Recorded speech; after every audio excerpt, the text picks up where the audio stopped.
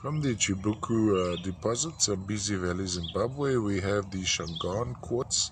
Now, what's what's hidden under this coating of maybe a very thin layer of uh, chalcedony would be an explosion of, I'd expect to find smoky and amethyst intermingled, which is quite typical to this deposit. So there you have the little gem faces of the crystals before they've been coated by this blanket of uh, which which I find appealing in that there's underlying patterning to the formation of the chrysocolla. Uh, from a, I think this may very well be a floater. Let's have a look there.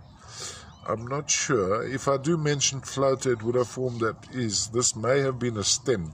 So this may, uh, technically speaking, be a scepter. If we look at it like this, so you've got the thin base over there going across into the main face.